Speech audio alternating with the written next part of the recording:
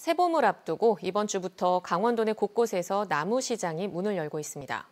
올해는 묘목 공급이 원활하지 않아 사과와 배 등의 유실수 구하기가 쉽지 않을 전망입니다. 박민기 기자가 취재했습니다. 농민들이 정성으로 키운 어린 나무들이 새로운 주인을 기다리고 있습니다. 각종 단풍나무와 측백 등 조경수가 눈길을 끕니다. 최근 전원 생활을 즐기는 사람이 늘어나다 보니 묘목 수요도 증가하고 있는 추세입니다. 손을 맞잡고 다정하게 묘목을 고르는 부부에서부터 픽업 트럭을 몰고 나와 진칸 하나 가득 나무를 심는 손길까지 모두 활기가 넘칩니다.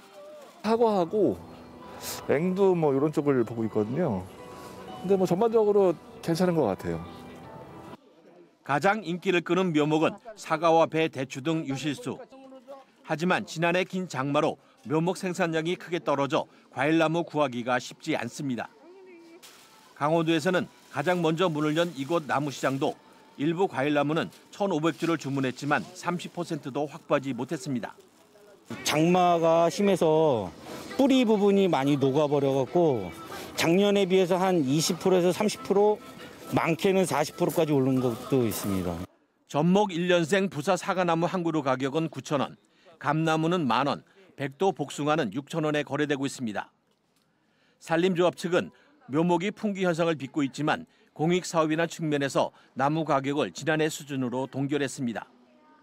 전문가들은 올해 좋은 묘목을 고르기 위해서는 지역별 나무시장 개장일을 파악해 남들보다 빨리 발품을 팔아야 한다고 귀뜸하고 있습니다. MBC 뉴스 박민기입니다.